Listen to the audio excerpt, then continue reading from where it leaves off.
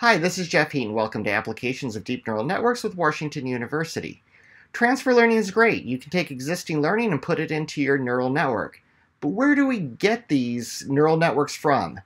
In this video, we're going to look at how you can find these types of neural networks and some of the popular ones.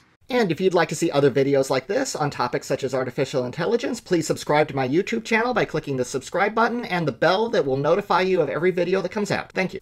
Keras comes with a number of models already built in that can be transferred in from their provider. So it's important to know how to make use of those. We'll talk about them. Now, you can also find some models outside of Keras, like we did this with YOLO. YOLO is essentially transfer learning. We transferred in literally the entire of YOLO and also StyleGAN, but this gave us pre-existing models to actually work with. You could have custom and fine-tune trained them further, for sure. We are going to also look at these two websites. They're very important. There's a lot of good information for you here. TensorFlow Model Zoo and Papers with Code. These two sites have a tremendous number of transfer learning capable neural networks that you might want to use for your own projects. If you look at Model Zoo, you can see by the stars some of the ones that are the most popular. You can also subscribe and get new ones. There's video, there's not just computer vision. YOLO with TensorFlow obviously is is is very popular right now. Lots of GANs and other things that you will see here. We will for the class, I'll give you links to the actual neural networks that we're transferring in and typically we're using ones that are already built into Keras. But if you want to look for projects of your own in the future, this is definitely a very valuable site to look at. Papers with Code is also great. This is where papers that were released with code or sometimes papers without, enthusiasts will write the code for the paper and publish it here very quickly. So this is this is another great place to look at to find neural networks that you may wish to transfer in for your own projects. I give you a listing here of all of the models that are built into Keras that you can actually load in. The complete list is here if you go into the Keras documentation. These are the ones. MobileNet will be using. Some of these others can be can be quite useful as well. MobileNet is good because it's designed to run on mobile devices, so the compute power that it needs is not great compared to some of these other ones. A lot of these I give you I give you the links here. You can click on the main link here and it will show you the actual paper typically that this is coming from. Usually you'll have to read information from the actual paper to get an idea of what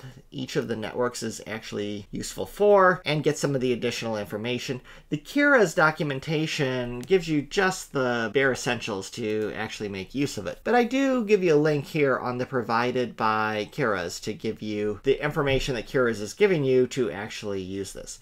Now, all of these weights are not downloaded when you install Keras, obviously, or Keras would be a very big download. So when you run some of these for the first time, you'll see Keras in the background do a download so that it can pull down the weights from the original researcher. And it's very interesting. These researchers who develop these, who don't necessarily have the extensive compute power of, of some companies, I've seen a couple of examples of YOLO being used in industry where they tried to fine-tune the YOLO YOLO weights where you can recognize multiple objects. We saw the YOLO in a previous in a previous module, but they often simply use YOLO as it is because it's it's difficult to improve upon because it was done really very well. DenseNet, a lot of these are attempts to give you pre-trained networks that are deeper and deeper than ever before. ResNets, there's several versions of ResNet that are out there, and ResNet can give you some very advanced feature recognition. MobileNet and MobileNet V2, those are two of my favorites. You'll see that I use these in the class. This lets you use a neural network that was trained extensively for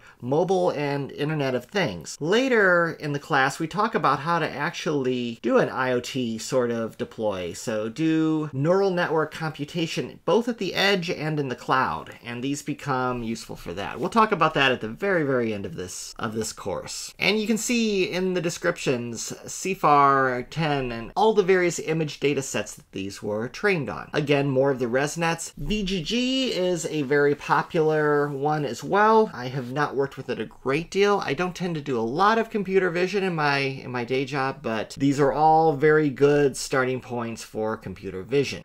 Thank you for watching this video. In the next video, we're going to make use of some of these great open neural networks that have been developed for us. We're going to start with computer vision.